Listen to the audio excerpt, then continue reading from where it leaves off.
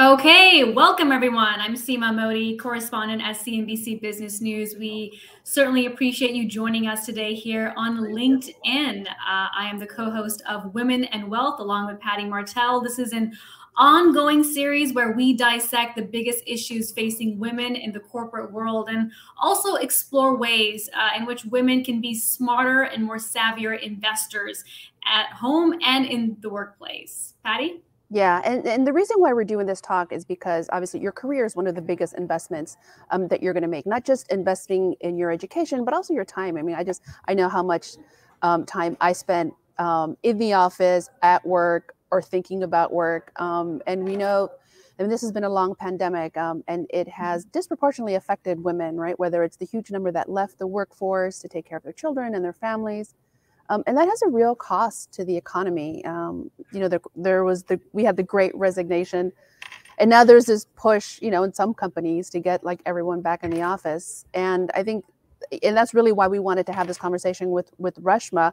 Um, you know, she wrote about this in her book Pay Up, and she's talking about the future of women and work. And you know, she says we need real change, you know, to fix the burnout, to fix the inequity. Um, I'll just give you a little more background um, on, on who she is. Um, she's the founder of Girls Who Code and the Marshall Plan for Moms. She's a best-selling author um, and just a champion of female empowerment. Um, her, her influential TED Talk, um, where she said uh, to teach girls to be brave, not perfect, has been viewed more than six million times. So let me bring her in. Reshma, thank you so much for joining us. We're so excited to have you. Um, welcome to Women in Wealth. Let me just start from the beginning. Why did you write this book? Gosh, because women are in crisis.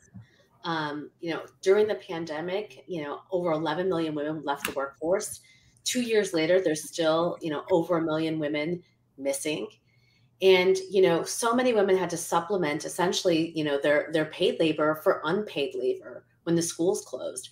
And we live in a society that doesn't have affordable childcare, that doesn't have paid leave, that is fighting against flexibility and remote working. And so, you know, workplaces have never been designed for us. And I think that given the great resignation and the moment that we're in, we have a once in a lifetime opportunity to finally make workplaces work for women. You know, Reshma, we tend to focus a lot on CNBC uh, around wealth creating wealth, accumulating wealth as women. And I'm just curious from the research you've done and also the countless conversations you've had with women across the nation, what are what are some of the mistakes that women make uh, when it comes to investing? Well, I mean, I still think that we uh, are taught to be risk mitigators. You know, we you mentioned my talk, bravery, not perfection. I mean, it's literally embedded in our DNA. You know, to only do the things that we're good at, to not take risks, to draw on the lines. You know, to not take up space. And so, I think in many ways we just haven't been taught. Uh, to be risk takers. And so when we invest, we want a sure thing. And as you know, I mean, I would say as an investor, most of the things that I invest in don't work. And so you have to be comfortable and okay with taking risks. And we just haven't taught our girls that. Yeah. But and that risk also extends, I think, just in kind of how we navigate our career, right? I mean, you know, I think we in, we talk about investments and, and finance. You know, we are risk averse, but but also, you know, in in terms of like maybe not going for that promotion that you you're you're kind of on. You're like, gosh, yeah, you know, I really don't know if I'm qualified and you know where men have no problem you know raising their hand to you know for promotions and, and for jobs that you know maybe are a little kind of beyond or, or, or push them to you know to um, expand their skill set and women are still reluctant to do that how do we change that I mean, this is what's been broken about corporate feminism for a really long time. And this, you know, I saw this in the pandemic. You know, I found myself, you know, with two little babies, you know, running an organization and it nearly broke me. And I learned the hard way that having it all is just a euphemism for doing it all. And, you know, I spent the past 10 years telling girls to barnstorm the corner office, to lean in real hard, you know, that, you know, the corner office was just an express train. They just had to get on it.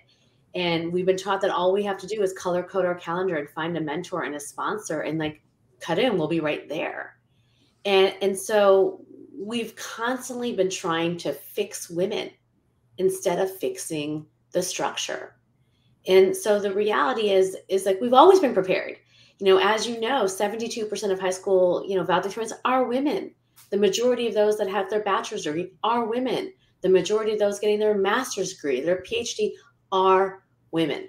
But we keep telling women, well, just take this course, take this class, you know, just do this one thing. And it's all a lie. And we've got to stop telling it. And it, it really means just upending everything that we have learned about women's empowerment, everything I've learned. You know, throw out the confidence code. Stop doing a power pose. No, you don't need to quote lean in. You are already leaned in.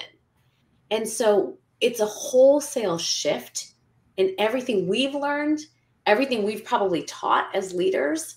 Um, and, and, and we got to do it now because I think more than ever before, we need women's leadership. We need women to start companies. We need women to, you know, raise their hand for promotions that they may not feel like they're prepared to, but they are quite frankly qualified to do. We need women to step up in ways that we've never needed them before. You know, it's interesting in your book, you also detail how not only do women need to raise their hand and go for those opportunities, but they need to be strategic on how they handle conversations with their boss, the person they report to. Can you expand on that? I mean, managing that relationship, whether it's your team, your colleagues, but someone who you report to, um, how that can play a huge role in how they view you as someone that they want to promote over time. Yeah, I mean, I think part of it is that we don't celebrate our successes. We don't talk about our successes. We don't tell our bosses where we want to go because we've told we've been basically taught to you know um, to be modest. You know i always say you know go to any like sixth grade graduation and when the boys get the award they're like doing the dab. They're like i got this. And what do we do? We're like who me? You know the, the first time when people like congratulations on your best-selling book i'm like oh i mean i don't know. Was it good and so and so are oftentimes people don't know what we're doing and what we're working on and and, and because we're taught to not actually tout our successes.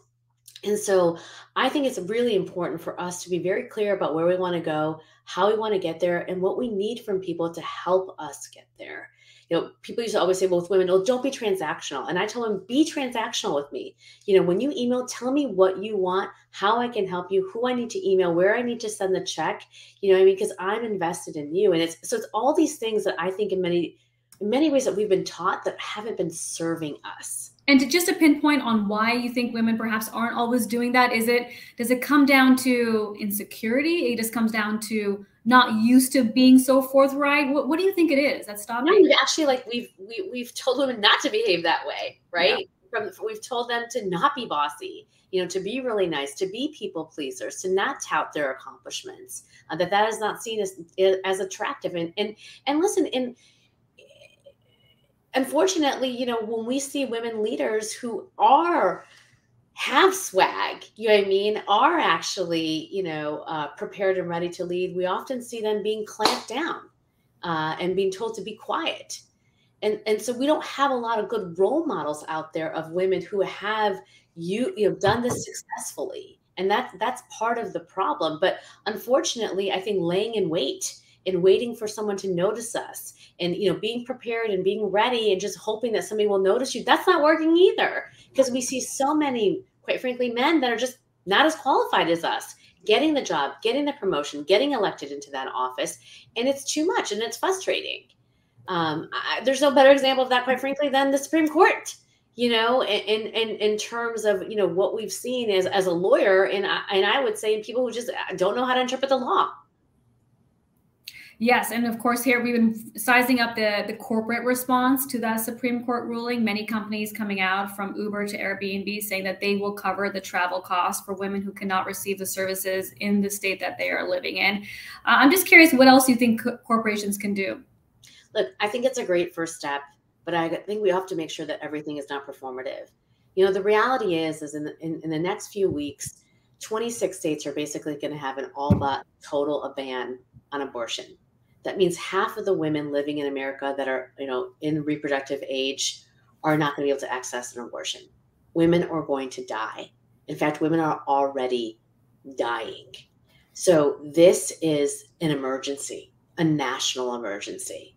And so we have to actually take really, really, really bold actions. And so I am happy that you know hundreds of companies have said that they're going to, you know, pay for abortions, pay for travel. But like for Uber and Amazon, don't just do it for your employees, do it for your contractors. the contractors are the ones that are low wage that are living in communities that are not going to have access to abortion or living in states you know where abortion is not going to be available or safe um, so go over and beyond every ceo don't make a quiet statement because you're worried that you're going to lose clients say it loudly and proudly and use the word abortion and use the word forced birth talk about really what is happening this is about control over women's bodies and fundamentally you can't have equality you can't have equity if we don't have control over our own bodies. And we gotta also think out of the box. What are the other things that we should be doing?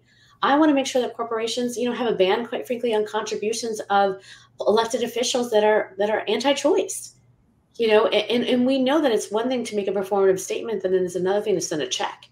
Um, and that has been happening far too often on racial equality, on voting rights. Um, and, and so it, it can't happen here. And so this is a moment where the private sector, quite frankly, has got to lead. Um, there's no other option. You know, I, I, this is a this is not a thing where uh, things are going to change overnight. Yeah. This is a decade long, at least a generational fight. And in the in the 10 years that we figure out how to get our rights back, because that Supreme Court is young, you know, and those state legislators, you know, are were are, those those areas are pretty red. And so the reality is is that millions of women are going to die. Millions of women are going to die. Yeah, Reshma, I, I just want to go back um, to this, um, you know, this idea of, you know, obviously the pandemic is, is, still ongoing, right? And it's been, it's going on two years now. We talked about how the number of women that have left the workforce. Mm. What is that going to do for the pipeline, right? Which was, we had a trickle, right? We had a trickle of women that were kind of working their way up um, and I think about when I think about the number of women that have left, what does that do for the next generation of leaders or, the C-suite? Like, how do we how do we recover that? It's devastating, um, you know, because the, the jobs numbers actually don't show how many people have downshifted their careers, how many people were, you know, in management or close to the C-suite, and then the pandemic happened and daycare centers were shut down or their kids were broken because of mental health, and they changed, you know, their path. And, and that I know so many women who've made that choice and, and you, that's not reflective in the job numbers. And so, you know, what I'm doing at the Marshall Plan for Moms is really figuring out, okay, how do we make structural change in companies to make sure we get women back? We did a survey with McKinsey, and the number one reason why women left the workforce was childcare. And so I think in this moment, you know, we launched the National Business Childcare Coalition. Companies have an obligation to start providing childcare benefits, whether that's in the form of a subsidy, whether that's flexibility, whether that's paying for, you know, uh, or Bright Horizons or Care.com. But you have got to solve parents' childcare problems. You cannot work unless you have childcare, period. Um, you know, secondly, it also comes in terms of, you know, paid leave. We are still the only industrialization that doesn't offer paid leave. Um, it comes in the form of there's still resistance towards flexibility and remote work. The reality is, like I said, workplaces that were never designed for us. Something simple like school days are eight to three and work days are nine to five. So the women forever have been having to balance how they handle picking up their kids from school and doing work. Well, now the pandemic has showed us that actually you don't have to put women who are again two thirds of caregivers are women. You know, we got to work on changing that quota, but until then, we have to like accept the reality of that and say, how do we make it possible for women to have their caregiving responsibilities? Sometimes it's children, sometimes it's elderly parents, and work. Uh, and how are we going to facilitate that? So instead of resisting it and saying everybody back in the office five days a week, every day, talk to me about the technology that you're building talk to me about the norms you're building. Talk to me about how you're going to make sure that you know you don't have a two tier system one for those that are accessing remote work and one for those that are not. How are you changing the way you have compensation and performance reviews? So we got to go beyond the past. We're not going back to the old normal. I, I feel like we in, in some sense you know and we are still getting this wrong, right? Like, I, I, have friends that um, have children, have small children that were nursing and working. They came back, and you know they were still nursing, and um, you know, I, I literally this one of one of my uh, someone I know was saying that the the mother's room that had been converted was a you know a place where she can go and pump was a converted closet.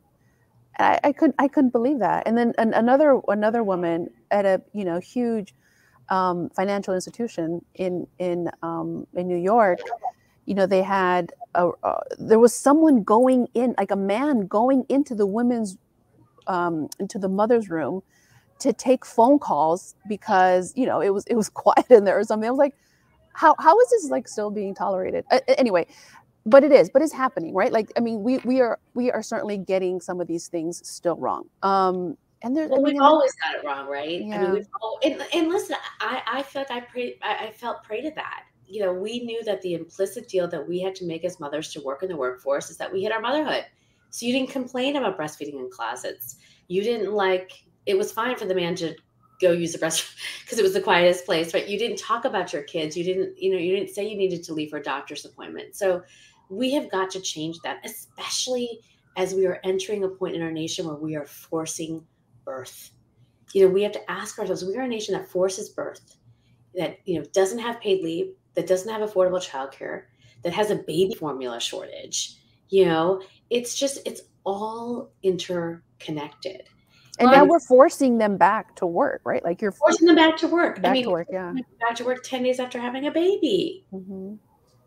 Where, what country do we live in? Meaning, like, we have got, you know, if we are about family values, then let's be about family values. Um, and so for those companies out there, Seema, to your point, that are like, I don't want to enter this conversation. It's very controversial. It's very partisan. Fine. Are you offering childcare? What's your paid leave program? You know what I mean? Are you resisting flexibility? How are you supporting parents? And so eh, we got to start asking those questions. You, we talk about how we can manage it all, right? Be that caregiver, whether it's taking care of an elderly parent or as a mom, and at the same time managing a demanding career. Um, you, you talk about in your book about how you lean on your partner, and how you've actually had some really frank discussions with your husband Nihal, who I know well, uh, about how to manage your time schedule, right? Creating a routine. Can you walk us through that? What's the advice for other couples out there? Well, I mean, the reality is one third of divorces are about the chores and I will say to you, you know, uh, all of our couples counseling sessions are pretty much about this conversation. And the reality is, you know, my husband, Ollie's wonderful. And I married the guy that was going to do the dishes, that did the laundry. You know I mean? Very clear. I asked these questions very clear. He asked me to marry him three times before I said yes for this very reason. And, but when we had a baby, you know, I took my paid leave and he didn't.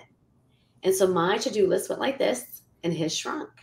And so we really had to talk and negotiate. So, for example, you know, I do the mornings, he does the nights. But if I'm sitting around at 6 p.m., you know, eating a bowl of ice cream, watching Netflix, he'll be like, hey, can you warm up the bottle? Can you grab the diaper for me? And I get then roped back into his job. So I now at 6 p.m., I leave. I have my girls' dinner. I go for a walk. I hang out with my dog. I do other things. I'm just out. And and so I think for us as women, we we have to create really clear boundaries and have no guilt about them. I can't tell you how many girlfriends I have that will go on a girls trip, but then like, you know, buy all the groceries, make all the lists, do all this stuff, and then leave. And we just go. They will figure it out. And and and and and, so much about equality we've really never talked about. We we've have so many HBR articles and so many conversations on how to get a mentor, how to get a sponsor. But I think the, the conversation we need to have now is how do we advance gender equality at home? How do we mm-hmm. get to a world where we have 50 50% caregiving? And what kind of corporate policies what kind of corporate conversations can we have to get to that world? Because i really do believe if we can get to gender equality at home we're going to get to gender equality in the workplace. And it's also going to have people recognize these conversations that we're having on repro rights about how important and critical it is to give people regardless of your position you know on choice autonomy over their own bodies and I, I think also, Reshma, that, that does require a little bit when you're talking about this 50 50, you know, uh, kind of breaking up of responsibility at home. I think that also requires a mind shift on women's part because a lot of times we just automatically take it on. We'll do it. You know, sometimes it's just like, well, I've been I've been doing it I've always been doing it. So and proudly too, right? We get and so happy when yes, we can do it all. Exactly. Yeah. yeah. Mm-hmm. Absolutely. I mean, every, when we go traveling, of course, I get. I'm packing for me, the kids, the dog. Nihal's just grabbing his bag. We go out and we get in the car, and he'll be like, "Hey, did you get Shaan's frog?" And I know I look at him like, "Of course I did." Right? There's like this pride in that we. It's part of our identity. And so, but we've got to let that go. We got to let, as my friend Tiffany Dufu says, you got to let the ball drop uh, and we have to kind of shift and it goes back to perfectionism you know and, and, and again like being a bad mom is the worst thing you can say to a mom right? And, and so we've kind of built up these tropes in culture about what it means to be a good mom and it means a self-sacrificing martyr who does it all. And i think in this pandemic you know with everything that's happening in the country it's just it's too much. And it's why 51% of mothers say they're anxious and depressed. I mean we have a we have a crisis in terms of suicide rates for moms in terms of alcohol addiction in terms of adderall addiction it's moms are in mental health crisis and we because we think moms don't break and because there's not space for us to like talk about it you know we are we are holding all that in and and this is happening this this this kind of breaking point is happening because of the fact that we have no support. You know, a friend of mine from Argentina, she was saying it's so weird in America. Like in Argentina, if you're a mom, you're a queen. If you're a mom of twins, forget about it, right? I would never use the word queen and mother to describe mothers in America, right? And we need to ask ourselves, well, why? Like, why is it um, that again, moms in many ways are the most the least resourced even if you think about workplace discrimination, right? The motherhood penalty is the reason why we have a gender gap in pay. But we don't talk about it that way. We like the image of the pay gap to be the women's soccer team, but that's that's not what the pay gap is about. Uh, we don't have practices against, you know, uh, essentially, you know, trainings against rooting out, you know, discrimination against moms in the workplace even though every single mom can tell you probably a weekly or a daily microaggression that's made against them because of their caregiving responsibility. Are there certain companies that you, that you think, maybe across corporate America, private or public, in your conversations that you would say are, are doing a good job at supporting women, especially as they become mothers? Uh, you know, we've seen, you know, have discussed the emphasis on bringing more diversity to Wall Street. Goldman Sachs now has a rule saying we will not take a company public unless the company on their board has someone who is racial has racial or gender diversity. Uh, yeah. So that's that's happening. But what about paid leave? Yeah, I mean, I think that I think look, I think there are a bunch of companies in our coalition that are doing great work. Synchrony Financial, you know, they they they've supported flexibility and remote working. You know, they're taking a lot of like a lot of policies to think about how do they build a culture that supports parents. You know, Etsy, I think is an example of, you know, they basically have both for their male and female employees, they're taking, you know, paid leave you know, in the same amount, right? And so I bet if you surveyed Etsy's families, they probably have more gender equality at home than other families. Um, you know, I, I, think that there are still companies out there like Apple that don't have gender neutral paid leave policies. In today's age, that's unacceptable. Um, and I think for a lot of companies in financial services, it's one thing to offer paid leave, and a second thing to gaslight men when they take it. And I think that that's what happens a lot. And so I think the, the question in 2022 is not like, are you offering paid leave? Who's taking it? Are you incentivizing taking it? What is the results? You know, are men taking it? Are you setting the example for it? Um, so we have to ask different questions so we can make sure that things are just not performative. The, the second thing is, is that, and then when people take it, when women take it, when they come back, are they coming back at the same level? What are the promotion rates? You know what I mean, for mothers? What are the compensation rates? You know what I mean, for mothers. Uh, and so uh, these are things that so much of this is like is is cultural and a lot of times is an algorithm. If you want to root out the motherhood penalty, it's an algorithm. You know, it's not hard anymore to do this. You just have to have the will let me let me ask you um, a, a hard question, um, and and I say it, it's hard just because I have not um, I have not gotten a good answer to this. How do we deal with imposter syndrome? Oh, I hate that word. Yeah. I'm going to send you my TikTok. Okay. That. okay. But I want to. I want to. I'm going to tell you the story real quick that I told. Yeah. Um, I was asked to do give a speech um, at Bill Gates' summit, and I was asked to give a speech between you know, Bill Gates and Warren Buffett. And I remember thinking in the backstage, like, wow, I wish they gave me 12 minutes instead of 10. And then I was like, how did I become that person? And, you know, I have been in every single room. I've say I've met, I've met every CEO, every leader, every president, every prime minister. And I'm like, you? What? And, but I see it's such a blessing. Like I wish yeah. I could take that knowledge and put yeah. it because I think that we think that we are not ready, qualified, prepared to do the job. And we've never had a conversation about unearned privilege. And a lot of people hold their positions because of unearned, undeserved privilege. And so our imposter syndrome is a fabrication. It is a lie. It is something that we have actually been, you know, bought and sold. And so we have to stop giving any credence to that. Because if you simply look at the, you know, if we want to live in an American culture that's about a democracy and about a meritocracy, then let's live in a meritocracy. And if we were living in a pure meritocracy, we would be running the world. Um, and and so we just have to. And, and I think so much of what I've realized, I've again been bought and sold. You know, is that that I that I need to take this one more. I need to take this class to learn how to be an investor. I need to basically read this book to walk into a room with confidence. I need to watch this TED talk so I can learn how to be why. And instead of just saying to women, "You're ready, go, go, you're ready," and, and, and so because men don't read, why are men not reading the same books we read? Why are men not taking the same courses that we, we read? Why is it still that the majority of leadership looks like the minority of this country? Like, we got to wake up to that. Yeah. And that means we got to really really, really, really change the language. Like I, I say this, you know, Patty, like I will not actually answer that question anymore. If you want to invite me to, t- there are like 20 questions I'm not answering anymore. Um, like don't give it don't give it the priority it deserves like it doesn't deserve to be in that line of questioning yeah and i tell this the more we ask it the more i was part of the problem right i was the you know girls who code like you know brain like i was part of the problem because i really believed that and and and it's just and and, and i'm just i'm not entertaining that and nor should any of us anymore biggest piece of advice tips to women who want to build their wealth there's a recession potentially looming right around the corner. Of course, paid leave is a huge issue, but as women try to build wealth, your biggest piece of advice or hot tips?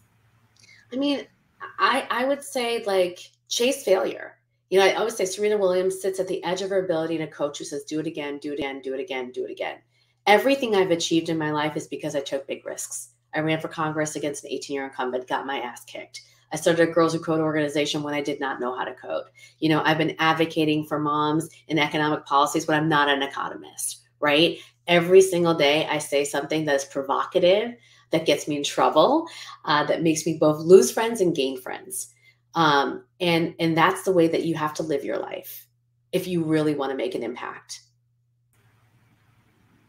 Awesome. Yeah. Well let's let's end there. Reshma that is that is yeah that is this has been a really great talk. Thank you for your time. We really appreciate it. For having me. Thank you thank you for all the good work we're, we're doing. We got to keep pushing ahead. Reshma saujani thanks thank everyone. You. thank you everyone for, for tuning in. Bye